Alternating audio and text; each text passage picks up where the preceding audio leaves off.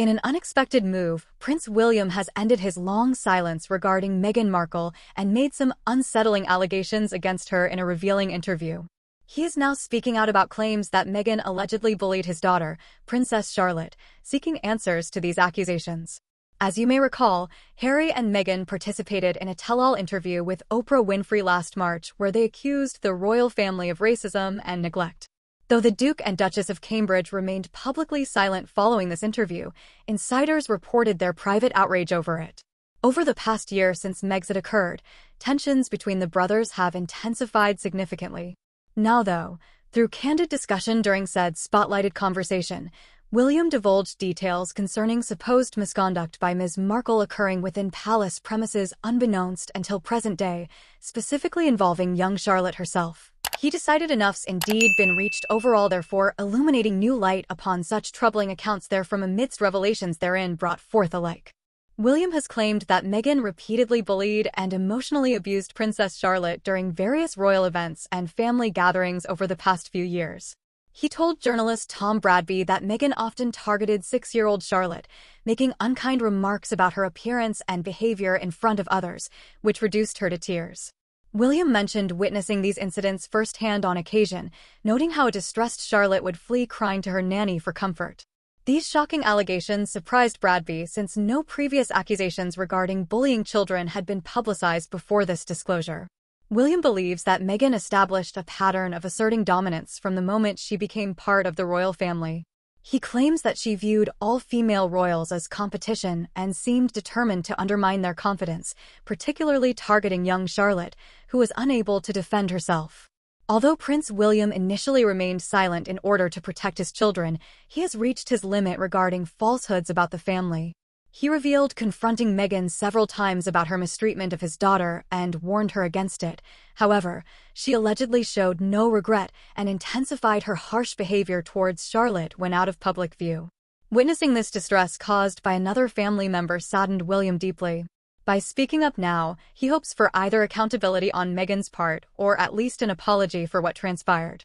William claims that he and Kate repeatedly tried to address Meghan's behavior by seeking help, but their efforts were disregarded by royal officials. These officials reportedly feared being labeled as racist if they disciplined the new American Duchess. William believes this lack of intervention only exacerbated tensions and fueled ongoing resentment between the couples. His interview offers fresh insights into why relations have become so strained within the Sussex and Cambridge households in recent years.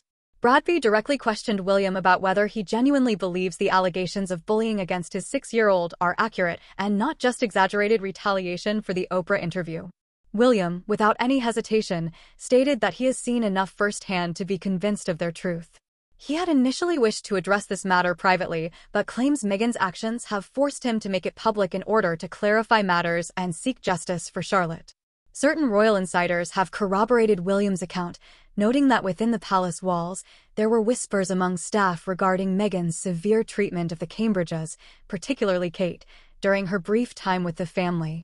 However, no one anticipated the emergence of claims about bullying their daughter. This revelation presents a troubling new perspective on alleged mistreatment within royal circles that has largely gone unnoticed until now.